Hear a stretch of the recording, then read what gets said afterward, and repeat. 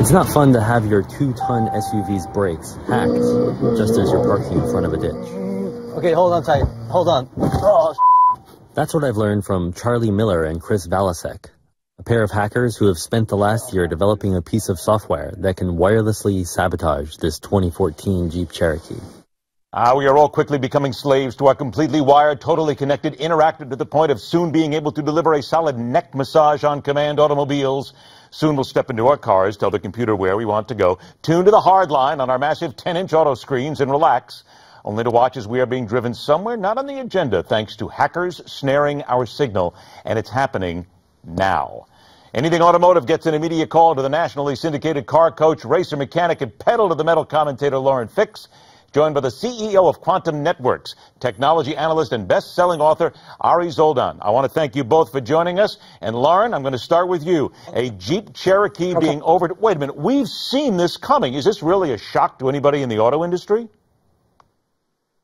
No, we actually know about it, and actually, uh, FCA or Chrysler was well aware that this hack was going on, uh, and they know which screen it was, and they actually shared the information, which we do appreciate. Uh, but the fact is, for this to actually happen is so minute of a uh, of a possibility, and there are so many things that we can do to block this, and the industry is working on that. But uh, the part that really bothers me about this story coming out, and this is something I know that you're going to love, is that Markey and, Room, and uh, and Blumenthal, the two senators, want to put up a law that is including the National Highway Traffic Safety Administration, who has done such a wonderful job in the past, and the FTC, and they want to start putting regulations in place. But my concern is if all the hacking of them sort of absorbing all of our content, who's to say that that's what, not what their plan is, is to absorb the content from your vehicle so that they can use that too. Ah, there we go. Ari, let me turn to you on this. This was 8.4 Uconnect is what this is involved in this specific vehicles. And Lauren says it's very minute. Uh, well, granted for now, but these guys used hardware, they used software they created. Isn't it possible that this can get a lot more intrusive on all vehicles in the future? Oh, th- there's no question. Look, I mean, especially Lauren had some really good points, but what I would say also, you know, once you're connected to the internet, there's a level of vulnerability, whether whether it's your cell phone, whether it's your iWatch, and now we're moving into vehicles when, interestingly enough, vehicles are no longer what it was 30 years ago, just a, a, a car. Uh, it's now it's a piece of technology, and we're driving technology, or many times technology is driving us. So, given that it's again, it's it's no longer a car; it, it's a very sophisticated piece of technology packaged in the fact that we're connected to the internet, there there are elements of uh, there are elements of, of security risks. Um, but I, I, would imagine that certainly car manufacturers. Not the first time that I think we're going to hear about this, and certainly not the last. But I would imagine car manufacturers are pretty much on top of it. And look, it's a it's a complex ecosystem, and there's always going to be pockets of inefficiencies. You know, will this happen uh, on a regular basis? Absolutely not. All right, now, Lauren, this was in a Chrysler vehicle here, and I, I loved it when one of the uh-huh. major news networks put up this massively scary headline where they said, Patch your Chrysler vehicle before hackers kill you.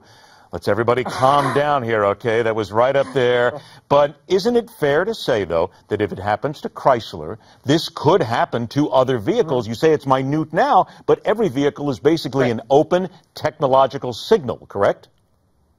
Right, and they were saying that GM and Infiniti also were two brands that they could have easily tapped into. So what they've done is you need to have the IP address, just like you would at home with your Wi-Fi network. Then you need a password to get in. No one leaves their Wi-Fi open anymore, and if you do, you get exactly what you ask for. It's like leaving your front door wide open, and I know Ari will agree with that. I mean, that's the first thing they tell you. You put in a Wi-Fi hub in your home, and the next thing that you do is you put a passcode on it. And if you don't, then you get what you ask for. Now, the other thing is, um, it's only on the 8. 1.4 inch Uconnect, which is the larger one. The other thing that uh, people need to know is that if you do have cellular service, you don't actually have to use it. You don't have to pay for the service if it's in your vehicle. If you do want to use it, make sure you put a passcode and don't leave it as 1234.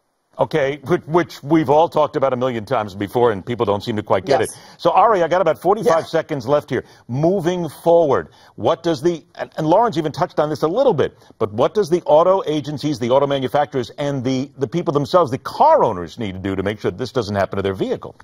Sure. I, I, think what Lauren said was right on. The the end user, the car owner, has to protect themselves the same way that that they that they should be changing their passwords, uh, you know, every 30 days on their computer. But I also think, and people aren't talking about this, I think it's important for the car manufacturers to have full disclosures, and that there should be some sort of whether it's a learning center or just at least informing the customers that hey, your car is connected to the internet.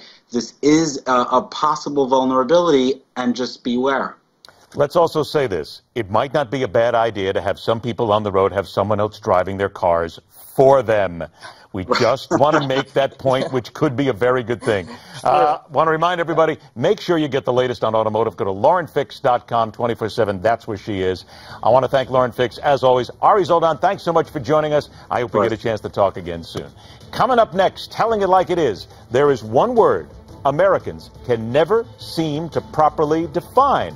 And actually, if you think about it, Donald Trump is the guy who made us think about it this time. It's coming up next on The Hardline.